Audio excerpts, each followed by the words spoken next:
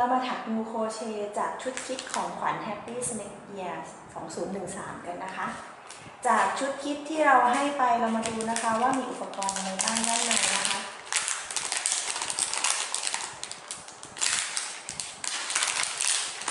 อย่างแรกเลยก็จะมีไหมพรม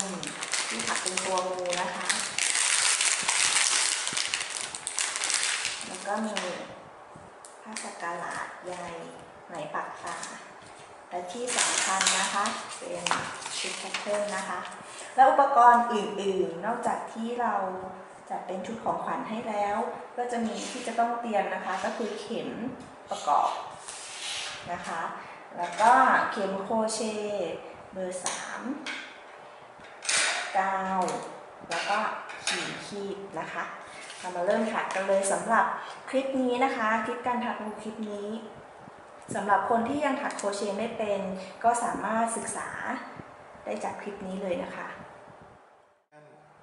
เรามาเริ่มดูที่แพทเทิร์นกันเลยนะคะ ส่วนแรกจะเป็นส่วนหัวเขาให้เริ่มต้นการถักแบบก้นหอยอในถ้าเป็นในแฟนเพจนะคะ เราจะมีคลิปวิดีโอการถักก้นหอยเคยให้ดูแล้ว แต่วันนี้เราจะรีวิวให้ดูอีกครั้งหนึ่งนะคะ เขาให้เริ่มต้นก้นหอยแบบ 6x ทำอย่างไรนะคะ เวลาที่เราเริ่มต้นก้นหอยก็ใช้ไหมนะคะ พันนิ้ว 2 รอบนะคะ1 2 แบบนี้แล้วก็ดึงออกมา เราจะเห็นว่าตอนนี้มันมี 2 ห่วง เสร็จแล้วเรา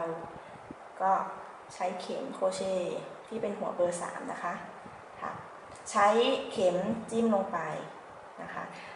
จิ้มลงไปในห่วงที่มี 2 ห่วงนะคะ แล้วก็ดึงไหมขึ้นมา จากห่วงแบบนี้ เราจะเห็นว่าตอนนี้มีห่วงที่เข็มโครเชต์หนึ่งห่วงแล้วนะคะ เสร็จแล้วก็คล้องไหมดึงรูดเข้ามาในห่วง ตอนนี้เรายังไม่นับเป็น x นะคะ ต่อไป เราจะเริ่มถัก 1x เขาให้ถักทั้งหมด 6x x แรกวิธีทำก็คืออจิ้มเข็มลงไปในห่วงเหมือนกันนะคะ เสร็จแล้วก็คล้องไหมดึงออกมาจากห่วง ตอนนี้เราจะเริ่มเห็นว่ามีในห่วงในเข็มโครเชต์สองห่วงแล้วนะคะ เสร็จแล้วเราก็คล้องไหม ดึงมาผ่าน 2 ห่วง อันนี้คือเรียกว่า 1x ในแพทเทิร์นเขาให้ถักทั้งหมด 6x ก็ถักต่อไปเลยนะคะ ถักแบบนี้เลยนะคะ ดูกันอีกทีนึงนะคะ สอดเข็มเข้าไปในห่วง ดึงไหมออกมา สอดเข็มเข้าไปในห่วง ดึงไหมออกมา เสร็จแล้วมีสองห่วงนะคะ ก็ดึงผ่านสองห่วงออกมาทำแบบนี้ต่อไปจนครบ 6x เลยค่ะ ตอนนี้เราถัก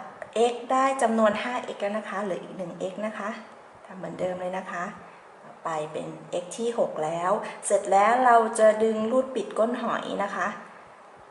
ห่วงที่ค้างอยู่ในเข็มก็ดึงออกมายาวๆแบบนี้นะคะ กันหลุด เสร็จแล้วเราจะเห็นว่ามีลักษณะเป็นโซ่แบบนี้นะคะ ให้หันด้านโซ่เข้าหาตัวนะคะ แล้วก็ใช้เข็มโครเชต์เขี่ย เส้นไหมที่เป็นเส้นเดี่ยวออกมาแบบนี้นะคะ เดี๋ยวมันจะพันกัน เสร็จแล้วเราจะเห็นสองห่วงแบบนี้ ให้ดึงห่วงด้านในก่อนนะคะ พอเราดึงค่อยๆดึงนะคะ ดึงไปจัดไปนะคะ ก้นหอยจะได้สวยๆ ดึงเราจะเห็นว่าอีกห่วงหนึ่งด้านล่าง เริ่มหุบเข้าไปแล้ว ดึงจนชิดปิดดูเลยนะคะ และอีกห่วงหนึ่งทำยังไงก็คืออ่าหมายอีกเส้นหนึ่งที่เราเหลือปลายทิ้งไว้ดึงรูดปิดเลยค่ะ ทีนี้เราก็จะเห็นว่าก้นหอยปิดสนิทแล้ว ไหมที่เหลือเราก็ใช้กรรไกรตัดให้เหลือปลายไว้นิดนึง เสร็จแล้วเราก็ถักปิดก้นหอยด้วยสีนะคะ การถักสีก็คือ จิ้มเข็มลงไปในห่วงแบบนี้นะคะ ให้สังเกตว่าเวลาที่เราจิ้มเข็มลงไปในในโซ่นะคะ เราจะ จะต้องมีไหมสองเส้นแบบนี้นะคะถึงจะถูกต้องนะคะ แล้วก็ถักปิดก้นหอยด้วยการดึงลูดลากออกมาเลยค่ะ นี่ค่ะ เราจะได้ก้นหอยแล้ว ต่อไปเราถักตอนนี้นะคะเราถักแถวที่ 1 เสร็จแล้ว เรามาดูในแพทเทิร์นแถวที่ 2 เขาให้ถัก 6V การถัก 6V ถักอย่างไร เมื่อเราถักเสร็จแล้ว 1 แถว ให้เรานำไหมสีสีอื่นนะคะ สีที่แตกต่างจากชิ้นงานที่เราถักอยู่ เอามาขั้นเพื่อเราจะได้รู้ว่าตอนนี้เราถักจบแถวแล้ว ต่อไปถักแถวที่ 2 ถัก 6V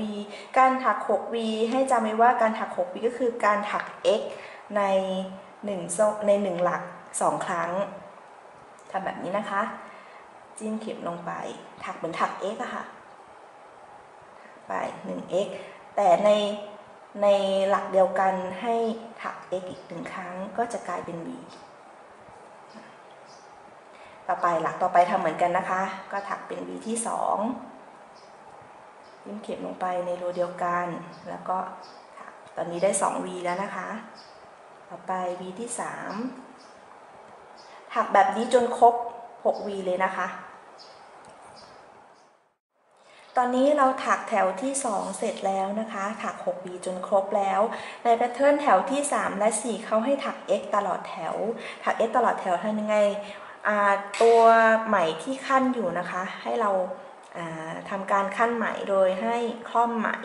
ระหว่างเข็มกับเส้นไหมที่เราถักอยู่แบบนี้นะคะ หลักแรกก็คือหลักที่มีไหมอยู่นะคะ การถัก x ตลอดแถวก็ง่าย ๆ เลยค่ะ ถัก x ไปทุกทุกหลักจนครบวนกลับมา ถึงเส้นไหมที่ขั้นก็จะนับเป็นหนึ่งแถว ในแพทเทิร์นเขาให้ถักแถวที่ 3 และ 4 ก็แสดงว่าให้ถัก x ตลอดแถวจำนวน 2 แถว ถักจนครบเลยนะคะ เดี๋ยวพอถักแถวที่ 4 เสร็จเรามาดูกันนะคะ ว่าแถวที่ 5 ถักอย่างไร